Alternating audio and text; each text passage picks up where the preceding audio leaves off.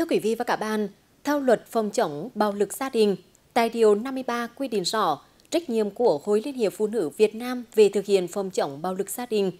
Theo đó, cả cấp hội Liên hiệp Phụ nữ phải tư vấn, tham gia hòa giải về phòng chống bạo lực gia đình ở cơ sở, tổ chức thực hiện, kết nối, giới thiệu dịch vụ tư vấn, hỗ trợ người bị bạo lực gia đình, tổ chức hoạt động hỗ trợ sinh kế, tạo việc làm hoặc hỗ trợ khác cho người bị bạo lực gia đình, chủ trì phối hợp tổ chức cơ sở trợ giúp phòng chống bạo lực gia đình thuộc phạm vi quản lý, nhân rộng mô hình phòng chống bạo lực gia đình. Thời gian qua, cả cấp hội phụ nữ trên địa bàn tỉnh đã vào cuộc tích cực, góp phần thực hiện tốt luật phòng chống bạo lực gia đình. Chuyên mục Pháp luật và đời sống hôm nay đề cập đến nội dung này. Mời quý vị và các bạn cùng theo dõi.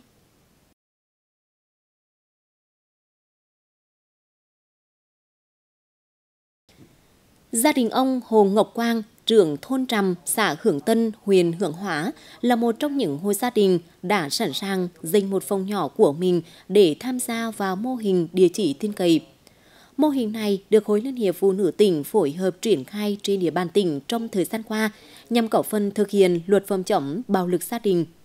Theo luật này, thì địa chỉ tin cậy là tổ chức cá nhân có uy tín, khả năng và tự nguyện giúp đỡ người bị bạo lực gia đình –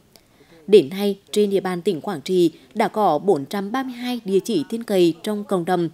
Không chỉ là nơi che chở, giúp đỡ người bị bạo lực gia đình, đây cũng là nơi để chị em phụ nữ có thể đến để được tư vấn, biết cách giữ sinh hòa thuần, xây dựng gia đình hạnh phúc rất mừng à, thôn có cái phòng mà mà dự bị. Nếu mà có cái chi chuyện chi trong xóm là, là là có cái phòng à, nhà thôn là là là chị mừng rồi. Cái nhóm tin cậy chúng tôi cũng mới thành lập mới đây nhưng tôi sẵn sàng để giúp đỡ những bà con à, gặp phải nhưng là ở trong gia đình sự cố. Ví dụ như cái phòng này là tạm lạnh để sau này là, là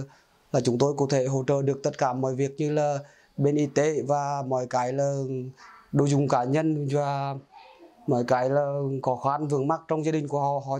thì tổ nhóm chúng tôi luôn luôn là sẽ họp và tìm cách giải quyết để giúp đỡ và báo cáo lên cấp trên. Nếu khó khăn nếu nặng hơn thì có thể là chuyển lên tuyển cấp trên. Nếu nhẹ nhàng thì chúng tôi có thể giải quyết để giúp đỡ và sẽ hỗ trợ cho những nhân những nạn nhân và gia đình mà gặp phải.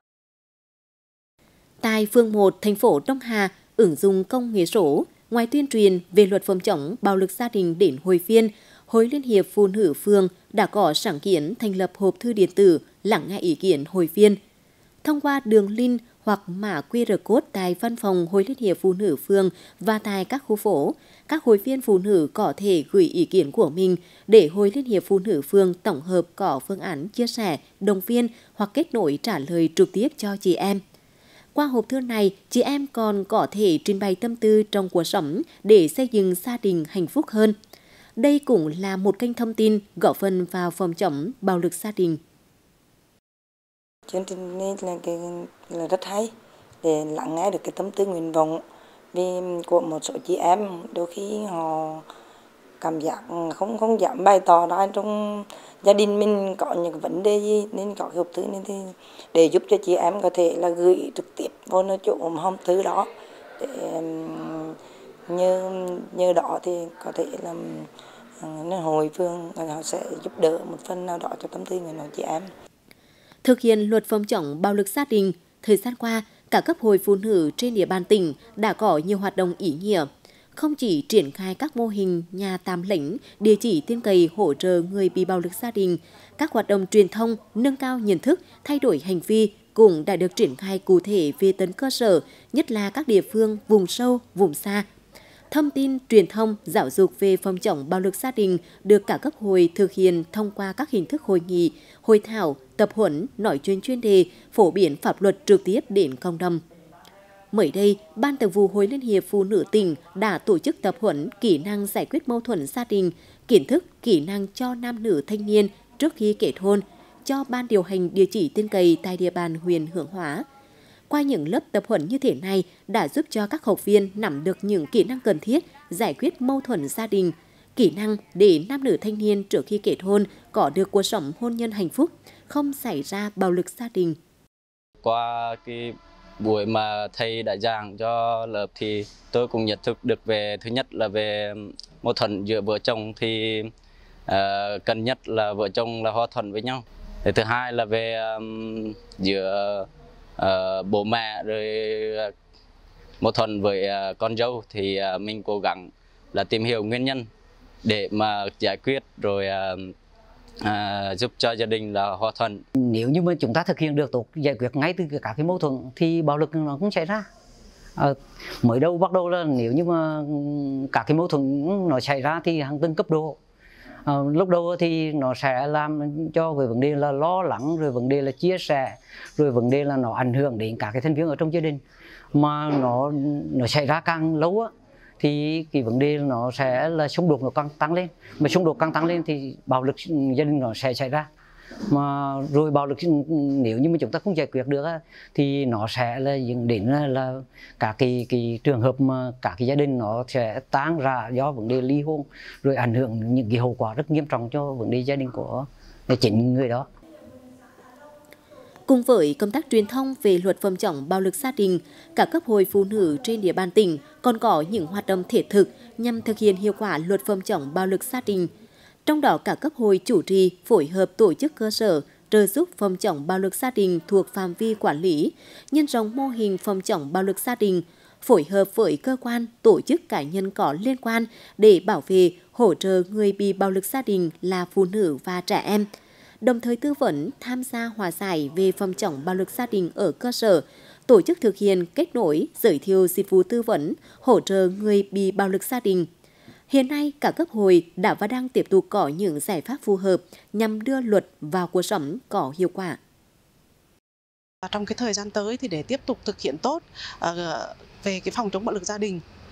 thì chúng tôi tiếp tục tranh thủ các cái nguồn lực từ các cái chương trình mục tiêu quốc gia và đồng thời tiếp tục tuyên truyền À, cho bà con nhân dân cũng như là hội viên phụ nữ à, hiểu hơn, hiểu rõ hơn luật phòng chống bạo lực gia đình, đồng thời là tổ chức tập huấn à, nâng cao trình độ cho đội ngũ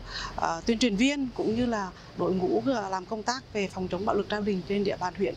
góp phần thực hiện cái bình đẳng giới, góp phần thực hiện phòng chống bạo lực gia đình trên địa bàn toàn huyện. Theo tôi nghĩ thì cái việc mà thực hiện luật phòng chống bạo lực gia đình thì cần phải có cái sự chung tay vào cuộc của cả hệ thống chính trị trong đó có các cái tổ chức chính trị xã hội như là trong đó có hội phụ nữ của chúng tôi phải tăng cường ờ, công tác tuyên truyền để nâng cao nhận thức cho người dân nói chung. Trong đó có ờ, cán bộ hội viên phụ nữ nói riêng về ờ, pháp luật nói chung và đặc biệt là luật bình đẳng giới và luật phòng chống bạo lực gia đình. Để phát huy tốt vai trò trong truyền thông và thực hiện luật phòng chống bạo lực gia đình, các cấp hội phụ nữ trên địa bàn tỉnh tiếp tục đẩy mạnh thông tin, giáo dục, đa dạng hóa các hình thức truyền thông về vai trò, vị thể của phụ nữ và trẻ em gái, phối hợp chặt chẽ với chính quyền và các ngành chức năng trong việc tổ chức thực hiện tốt luật, chủ động chỉ đạo các cơ sở hội xây dựng và duy trì các mô hình phòng chống bạo lực gia đình phù hợp điều kiện thực tế của các gia đình, vùng miền, hướng tới mục tiêu xây dựng môi trường an toàn, xã hội bình đẳng, tiến bộ, hạnh phúc. Kính thưa quý vị và các bạn, theo Điều 41 Luật phòng chống bạo lực gia đình quy định rõ việc xử lý vi phạm pháp luật về phòng chống bạo lực gia đình. Mời quý vị và các bạn cùng theo dõi ngay sau đây. Xử lý vi phạm pháp luật về phòng chống bạo lực gia đình 1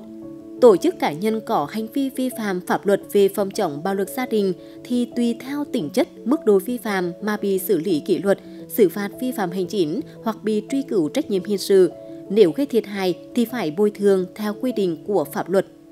2. Trường hợp người bị xử phạt vi phạm hành chính về hành vi vi phạm pháp luật về phòng chống bạo lực gia đình là cán bộ, công chức, viên chức, người thuộc lực lượng vũ trang nhân dân thì người ra quyết định xử phạt có trách nhiệm thông báo cho người đứng đầu cơ quan, tổ chức, đơn vị có thẩm quyền quản lý người đó.